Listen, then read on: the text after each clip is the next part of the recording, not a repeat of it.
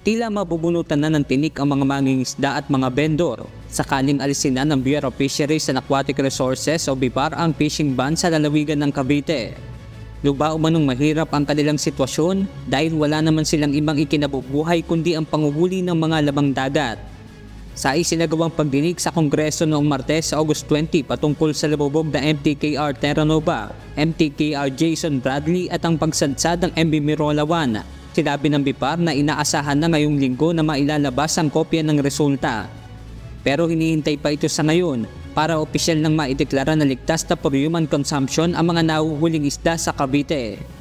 Sir, sir, we will wait for the uh, final result ng uh, PAH at the same time yung uh, pangatlong uh, testing for the sensory evaluation para ma-declare po natin na safe na talaga for Okay. consumption. Ano po, for this week po, uh, we'll try our best na i-facilitate yung uh, result po ng uh, PAH po at uh, yung another conduct of the uh, sensory evaluation.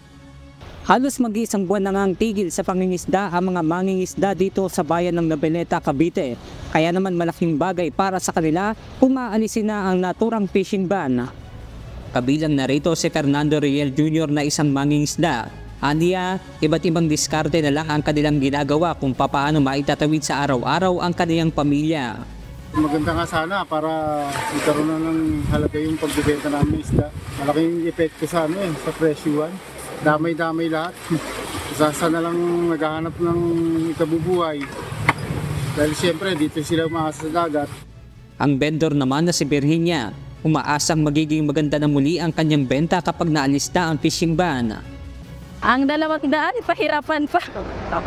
Pero ang dalawang daan. Kayo, sobrang saya ko po kung yan po ay pagbibigyan na ng gobyerno natin dahil sobra na po yung paghihirap namin doon.